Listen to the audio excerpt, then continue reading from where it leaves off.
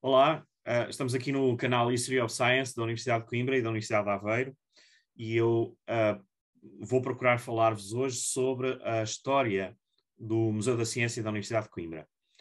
O Museu da Ciência da Universidade de Coimbra foi um museu que abriu as suas portas um, em dezembro de 2006 uh, e desde então tem estado a funcionar aberto ao público e resultou de uma iniciativa, de um conjunto de ideias que foram surgindo, uh, visando dar a conhecer à, à, sociedade em geral um acervo museológico uh, de, de, história da ciência que a Universidade de Coimbra, sendo uma, uma universidade multicentenária muito antiga, um, uma das mais antigas universidades do mundo, como sabem, uh, tinha seguramente património que merecia ser uh, dado a conhecer. Ainda por cima, nós tínhamos uh, vivido, digamos assim, um, a revolução das luzes uh, no século XVIII, através da reforma pombalina, que foi uma mudança completa da estrutura da própria Universidade de Coimbra, por iniciativa do Marquês de Pombal, que pretendia que o ensino das ciências passasse a ser ministrado na Universidade de Coimbra. Até então, a Universidade de Coimbra tinha essencialmente uh, estudos médicos. Uh, e tudo o que dizia respeito à história natural uh, estava, digamos assim, limitado pelo pensamento aristotélico medieval e, e, não, tinha, não tinha havido uma transformação desse pensamento no, no seio da universidade. E nessa altura o Marquês de Pombal decidiu criar um gabinete de física, um gabinete de história natural, um laboratório químico, um jardim botânico e ainda um observatório astronómico. Portanto, estamos a falar de uma transformação absolutamente gigantesca uh, da única universidade que existia no mundo uh, português, o que é uma singularidade, um, ah, com, que teve as suas vantagens e as suas desvantagens. Um, mas o que é verdade é que a Universidade de Coimbra foi a única universidade de língua portuguesa até ao século XX. Uh, que o Marquês de Pombal foi buscar dois professores a Pádua, o Dalla para o ensino da física e o Vandelli para o, o ensino da história natural e também um, depois uh, para o, o, laboratório químico uh, e é com estas um, uh, com estas figuras que um, digamos que se vai transformar completamente e que vai nascer o ensino das ciências obedecendo à lógica do, do, do iluminismo de uh, procurar conhecer através da experiência e da observação. Uh, e é claro que desse período resulta uma quantidade enorme de, uh, de objetos. Alguns desses objetos perderam-se, naturalmente, mas muitos deles mantiveram-se na, na, na, Universidade de Coimbra. Aqui há várias vicissitudes, naturalmente, mesmo já durante o século XX, um, o professor Mário Silva, que foi uh, fundador do Museu Nacional da Ciência e da Técnica e que, e que foi, digamos, a pessoa que reativou o gabinete de, de, de física de, da Universidade de Coimbra. O gabinete de física, por exemplo, constitui um dos três únicos gabinetes de física no mundo do século XVIII, com instrumentação do século XVIII, particularmente a parte do século XVIII. Um, existe um na Suécia, existe um uh, em Pádua e existe uh, o, o, gabinete de física da, da, da Universidade de Coimbra. Além disso, uh, por exemplo, as coleções de, uh, de, história natural que assentam muito uh, no, no, notável trabalho do naturalista português Alexandre Rodrigues Ferreira, que fez a mais longa viagem filosófica de que há memória, passou 10 anos na bacia do Amazonas a coletar para a Croa, e é por iniciativa do próprio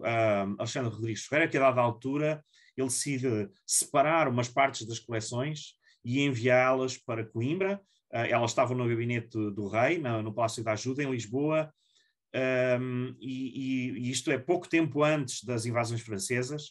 Não sabemos, porque não há documentação sobre isso, se ele já estaria a antecipar alguns riscos para essas coleções, por que razão ele o fez, não sabemos, mas o que é verdade é que ele enviou uma parte substancial uh, das coleções que foi coletando para Coimbra. E estas são aquelas que sobrevivem, porque infelizmente em 1978 houve um incêndio uh, no então Museu de História Natural da Universidade de Lisboa, o Museu Bocage, onde arderam todas as coleções uh, uh, da, da, área da, da, da, História Natural. Um, e onde se encontravam as, a maior parte dos materiais do, do, Alexandre Rodrigues Ferreira. Algum material foi levado pelas tropas francesas para Paris, uh, mas o essencial, aquilo que materialmente é mais significativo, uh, encontrava-se em Coimbra. Uh, e tinha sido, na década de 90, objeto de um estudo aturado por uma antropóloga brasileira, por um conjunto de exposições sobre a obra do Alexandre Rodrigues Ferreira, comemorando um, os, um, os, os 200 anos da, da, da, da viagem filosófica, uh, e, e, tudo isso foi, digamos, constituindo um material de história da ciência que permitia perspectivar que em Coimbra havia um acervo uh, muito valioso do ponto de vista da história da ciência que merecia ser explorado, que merecia ser uh, exposto. É mais ou menos também na década de 90, em 1994, que um, há uma primeira proposta para se constituir um museu de história natural. Nessa altura havia essencialmente um gabinete de física, havia uh, um museu de, de, história natural que era constituído por quatro secções: a, a zoologia, a botânica, a mineralogia e a antropologia. Um, e, e, basicamente, uh, e depois havia um conjunto de material uh, disperso na medicina, na própria Faculdade de Psicologia, na Faculdade de Letras, algumas coisas que diziam respeito à história da ciência do século XIX, do século XX, e que, que se encontravam dispersos, incluindo a Química. no caso da Química, mais uma vez há uma intervenção do professor Mário Silva, poucos anos a seguir ao 25 de Abril, Uh, numa altura em que o acervo histórico da química do século XVIII e XIX estava em risco de ser uh, destruído, uh, ou vendido, ou não se sabe. Em, na, na, sequência, digamos, da, da, da, transformação que aconteceu e que foi bastante significativa na Universidade de Coimbra, a seguir ao 25 de Abril, um, o, o, material histórico estava uh, uh, em, em, muito risco no caso da, da Química, uh, e foi o professor Mário Silva que se propôs acolher esse acervo para ficar à guarda do Museu Nacional da Ciência e da Técnica, até que a Universidade de Coimbra uh, decidisse fazer alguma coisa um, para valorizar esse património. E, portanto, em 1994 há uma primeira proposta para uh, constituir uh, um grande museu em Coimbra, nomeadamente Coimbra tinha não só o acervo do ponto de vista dos objetos, mas também do, do edificado, dos edifícios, uh, edifícios onde esse ensino foi ministrado, onde essa investigação foi realizada ao longo de séculos, particularmente a partir da reforma pombalina. Um, e não e, e, nessa altura nós estávamos uh, era ministro do planeamento uh, o professor Valente Oliveira uh, e ele oferece à Universidade de Coimbra qualquer coisa como 20 milhões de euros um, no valor, enfim em termos de valor absoluto portanto era muito mais do que é hoje um, para, eh, na altura eram, eram escudos ainda, mas o equivalente a 20 milhões de euros para fazer esse grande museu.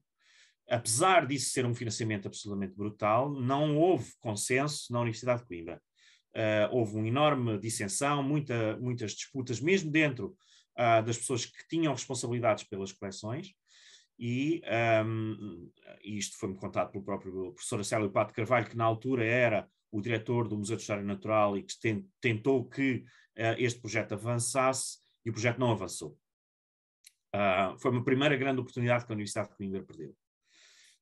Um, na sequência disso, uh, alguns de nós que estávamos ligados a, a, a, museus por diversas razões, eu, por exemplo, estava à frente do Museu Antropológico, um, sentimos que era preciso, na verdade, criar massa crítica, era, à universidade faltava uh, conhecimento uh, estabelecido de gestão museológica, de gestão das coleções, de organização da informação, de estudos sobre as coleções e, naturalmente, de exposição, museologia e museografia. Tínhamos algumas iniciativas, uh, fazíamos, fizemos algumas exposições muito bonitas, mas faltava know-how. E para termos esse know-how, nós precisávamos, de facto, de massa crítica. Tínhamos que criar um projeto que fosse um projeto suficientemente grande e não com pequenas secções como aquelas que existiam. Uh, é sempre muito complicado os museus nas universidades, muito complicado. Um, e nós sabíamos que este também era um caso complicado, uh, porque desde logo as universidades não vivem a pensar em museus. As universidades vivem a pensar no ensino. Um, o ensino tem poucos, poucos custos. Os custos do ensino são os salários dos professores que já estão garantidos. Um, e uh, os custos de investigação que muitas vezes são externalizados um, e muitas vezes uh, o financiamento da própria investigação vem de fora. Portanto, uh, estarmos a falar de verbas com alguma dimensão e algum significado para uma atividade museológica é muito complicado. Há uma disputa muito grande pela, por essa relevância e as universidades têm dificuldade em entender o que, o, o, o, valor que tem a imagem da instituição que os museus lhe podem conferir e que o seu património, o património histórico lhe pode, lhe pode dar. Houve ali uma janela de oportunidade, porque a dada altura o vice-reitor, uh, na altura vice-reitor Seabra Santos, Fernando Seabra Santos, que depois veio ser reitor da, da Universidade de Coimbra durante dois mandatos, ehm, que tinha de facto essa, essa uh, tinha essa percepção. E nós conseguimos convencê-lo. E, portanto, em 1999, uh, ah, ele dá posse a uma pequena comissão uh, constituída por mim, pelo uh, professor João Ropita, que, era, que é especialista em História da Farmácia, um, pelo arquiteto Gonçalo Birne, que era o responsável pelo projeto de pormenor para a alta da Universidade de Coimbra e que tinha, digamos, incluído já um projeto relacionado com a museografia uh, e com a museologia nesse plano de pormenor para a alta da Universidade de Coimbra e ainda pelo Michel Van Perrat, que era, tinha sido o responsável pela renovação da Galeria de Evolução do Museu de História Natural de Paris e que estava à frente de vários projetos de renovação na área da Museologia das Ciências em França, uh, particularmente em Paris. Aliás, ele veio depois, mais, mais tarde, muito mais tarde, a ser o responsável pela, pela renovação de, de, do Museu do Homem, uh, no, no, no Trocadero, uh, que abriu há, há, há, poucos anos. Uh, e, e, esta pequena equipa vai fazer um levantamento, portanto, nós fomos nomeados para fazer um levantamento um, do acervo. Já havia alguns, uh, algumas encomendas que tinham sido feitas. Em 94, uh, precisamente o Michel Van Pratt, um Roger Miles do Museu de História Natural de Londres e um um especialista do Museu de História Natural de Nova Iorque, vieram a Coimbra fazer uma avaliação do património. Há um relatório, esse primeiro relatório de 94, que vai ser, digamos assim, o, o instrumento de base primeiro. Depois, em 99, nós fizemos outro levantamento, avaliámos não apenas as coleções de Física e de História Natural, mas fomos ver o que havia da Química no Museu Nacional da Ciência e da Técnica, o que havia na Medicina uh, e, uh, e, em outros locais, um, e fizemos uma proposta. Em 2001, a nossa comissão é transformada, digamos, numa comissão de um projeto para o Museu da Ciência, um, e eu passo a liderar esse projeto acompanhado com uh, o Michel Van Pratt.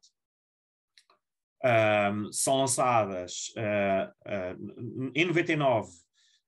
enfim, na sequência desse, desse trabalho, nós fizemos também a proposta de requalificação do laboratório químico. o laboratório químico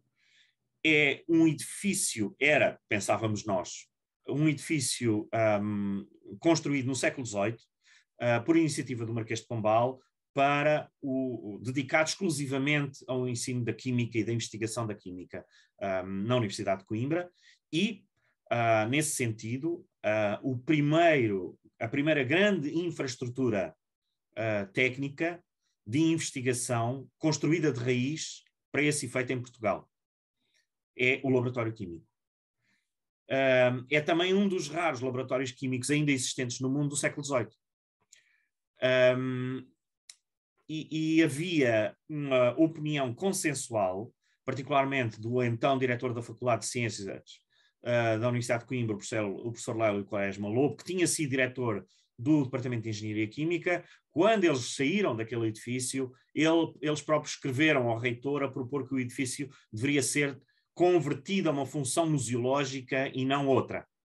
E, portanto, aqui nós aproveitámos uma circunstância que era. Uh, uh, havia, digamos que havia uma, uma, uma opinião dentro da sociedade, uh, da universidade, que era mais ou menos consensual, no sentido de aproveitar aquele edifício.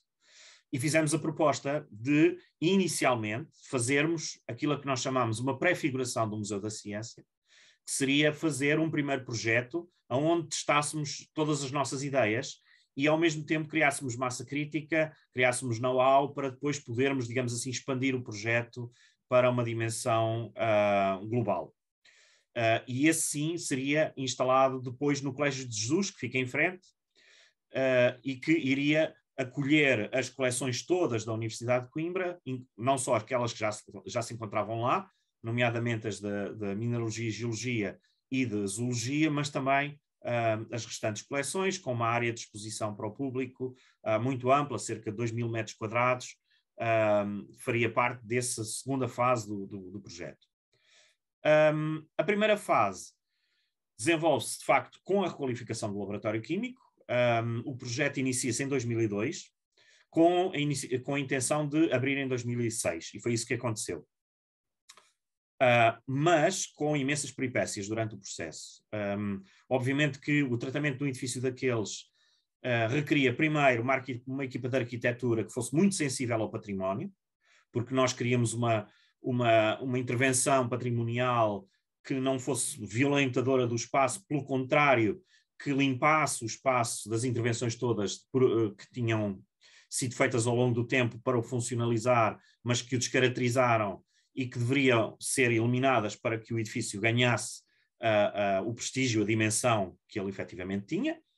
Um, inclusive havia um parque de estacionamento à volta do, do, edifício. Quando, quando tudo aquilo desaparece, de repente o edifício ganha uma outra dimensão e toda a gente de repente passa a apreciar o edifício como uma beleza absolutamente extraordinária que efetivamente tinha,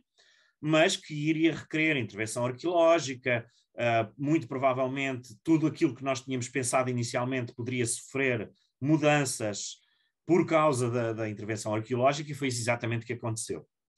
Um, a meio do processo, quando se está a descascar paredes, de repente começam a aparecer estruturas que nós não imaginávamos que estavam lá. Uh, de repente descobre-se que havia ali um púlpito um, e começamos a, a pensar que o edifício é mais antigo. Então vamos procurar desenhos, um, e aqui há uma viagem de um colega nosso ao Brasil, um, que tira fotografias uh, no Gabinete Real, no Rio de Janeiro, de desenhos do levantamento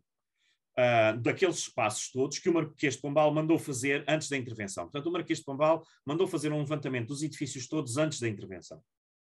E esse levantamento, o rei Dom João VI levou para o Brasil juntamente com muitos outros materiais, muitos outros desenhos. E é muito, muito engraçado, porque nesse levantamento está desenhado o refeitório jesuíta, um, que era o refeitório que alimentava os dois colégios, o Colégio de Jesus e depois o Colégio das Artes, que foi feito ao lado uh, para o ensino das artes e ofícios associado ao, ao, colégio, ao colégio jesuíta. E isto é uma construção do século XVI, a XVII. Uh, ou seja, perdão, no século XVI, ou seja, nós acrescentámos 200 anos à história do laboratório químico no, no meio desta intervenção. Porque, efetivamente, o laboratório químico tem uma forma de um L, ok? Portanto, se nós pensarmos um L, o pé do L é o refeitório jesuíta.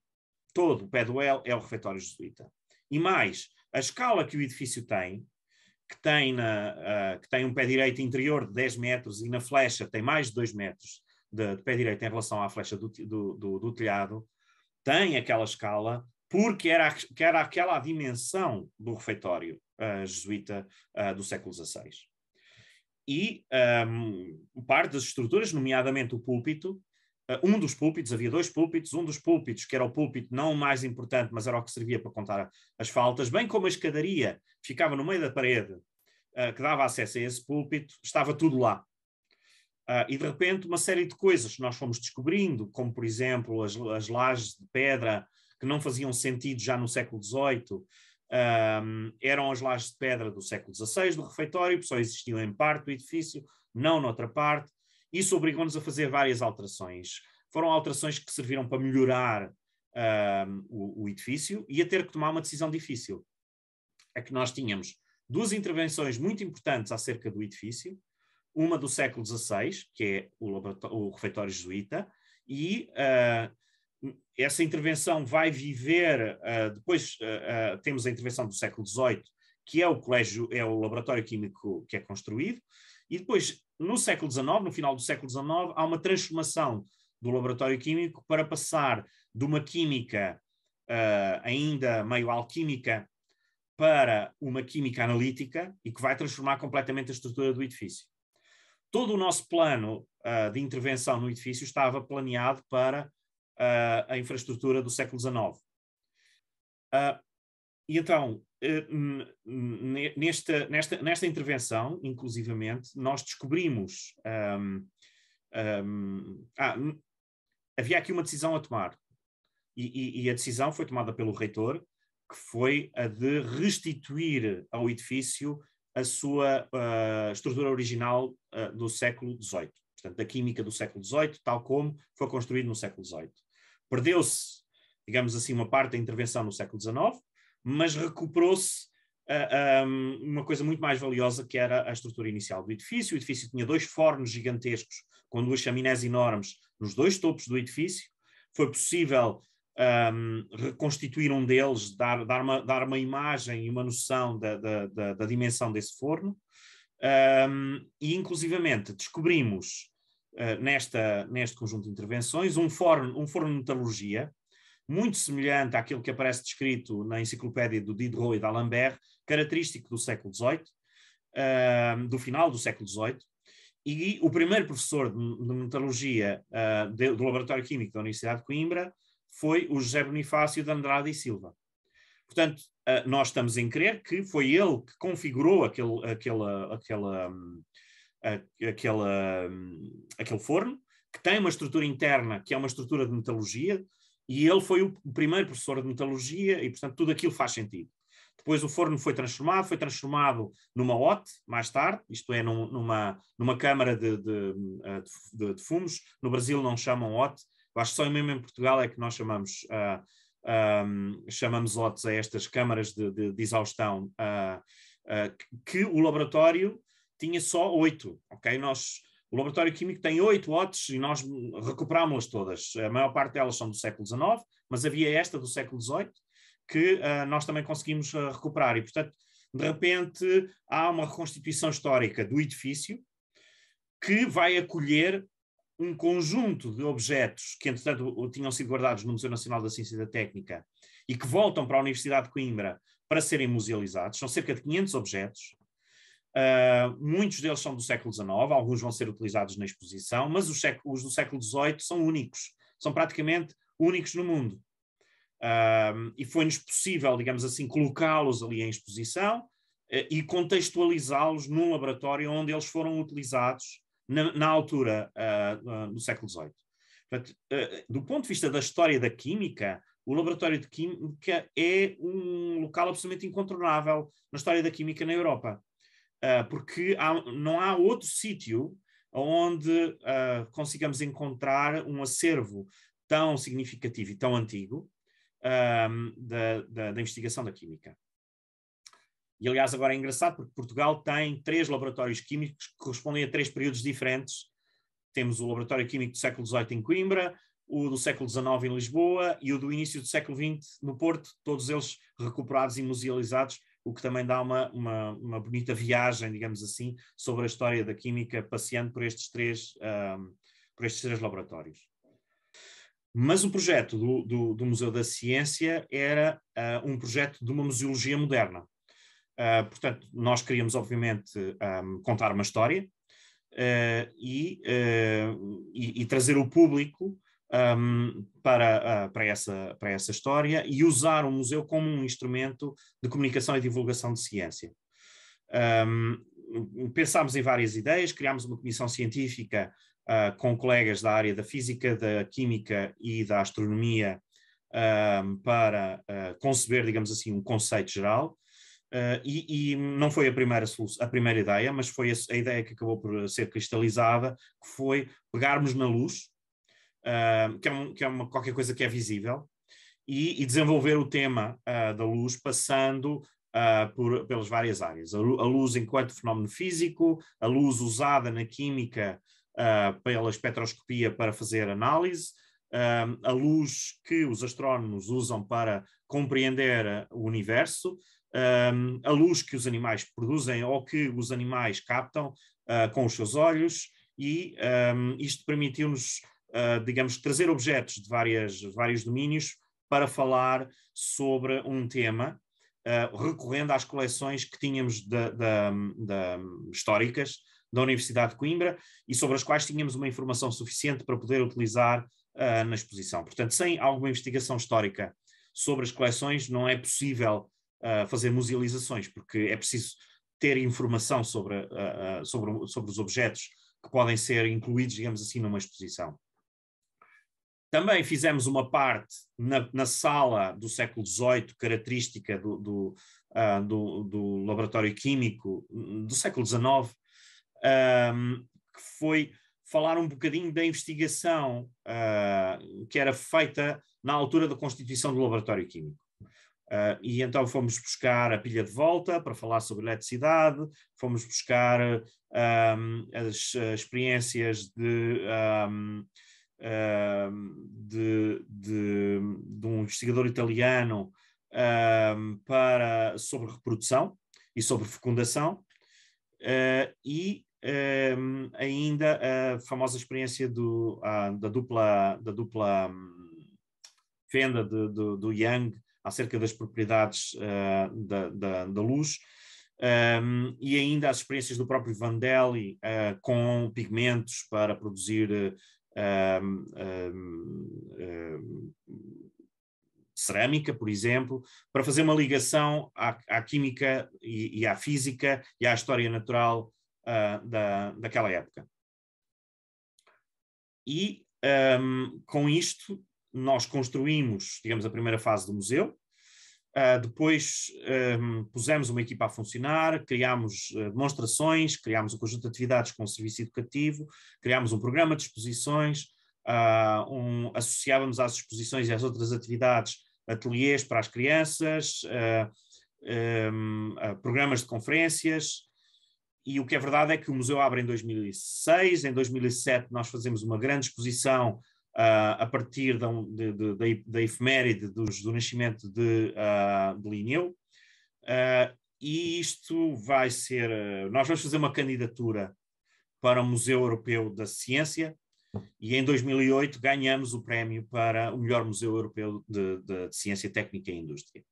E é claro que isto deu-nos uma visibilidade uh, internacional enorme. Nós passamos a colaborar com os principais museus de ciência uh, europeus, uh, um, em, em, em, França, uh, o Conservatoire des Arts et Métiers, uh, o Science Museum de Londres, uh, o Museu Galileu em, em, Florença, os principais museus na Dinamarca, o Medical Museum, um, e passamos a ter, digamos assim, uma, uma, uma ligação muito forte com estes outros museus. Isto vai nos ajudar a melhorar a nossa, a nossa prática também. Uh, e tivemos, uh, nos anos que se seguiram, colecionámos uh, museus, os arquitetos receberam um prémio de arquitetura pela intervenção no edifício, aliás, dois prémios de arquitetura, o museu colecionou prémios do serviço educativo, da, da gestão de coleções, da website, um, por aí fora, ao longo dos anos foram sendo feitos um, muitos programas a partir, normalmente, nós criávamos uma temática num ano, baseávamos numa exposição uh, e, a partir dessa temática e dessa exposição, desenvolvíamos todo um programa que tinha inúmeras uh, vertentes e, e, e, de facto, foram, até 2015, a altura em que eu saí, foram uh, anos de uma intensa experimentação, em que nós experimentámos novas formas, novas técnicas, envolvemos num projeto de ciência cidadã ao nível europeu, e de facto o museu foi um, digamos, um bocadinho experimental de comunicação e divulgação de ciência a partir uh, de um museu histórico, a partir de um conjunto de coleções uh, de história da ciência uh, e, e, explorando, digamos assim, essa temática para relacionar com a sociedade no, no, nos dias de hoje. Eu acho que, nesse sentido, a experiência do Museu da Ciência foi uma experiência absolutamente única e foi seguramente uma experiência única a nível nacional um, e uma rara experiência. Um, depois vieram anos menos bons. Um, o, o, a partir de 2010, nós começámos a trabalhar no projeto da segunda fase do Museu da Ciência. Houve um concurso de arquitetura que demorou algum tempo a acontecer, foi escolhida uma equipa que ganhou o concurso e foi trabalhado, digamos assim, um projeto para fazer a segunda fase do projeto do Museu da Ciência, um, que, um, uh, que estava prevista para o Colégio de Jesus. Mas depois veio a, crise do subprime, veio uh, o colapso das economias mundiais, veio o colapso da economia uh, portuguesa, um, um, falta de financiamento externo, intervenção do FMI, uh, um, uma, um constrangimento orçamental brutal e a universidade não foi capaz de, de aguentar e de sustentar o desenvolvimento do, do, do projeto do, do, Museu da Ciência, que ficou, digamos, por concretizar. Uh, embora a primeira fase tenha, uh, tenha sido concretizada e, e obviamente, continue aberto ao, ao, ao público com, a, com, as suas coleções, um, que são uma pequena fração daquilo que nós estávamos a pensar uh, mostrar, e, e, obviamente, onde faltam elementos absolutamente essenciais, porque um, o gabinete de física está separado, porque as coleções etnográficas, e estes são, digamos assim, as duas coleções únicas um, a nível mundial, que, que, que, nós podemos dizer que são absolutamente únicas a nível mundial, uh, e, e, que estão à espera de, de melhores condições uh, para, digamos, para serem usufruídas uh, por parte de, do público e da sociedade. Se você gostou desse vídeo, dê um like, compartilhe. Aproveite para assinar o canal e ative as notificações.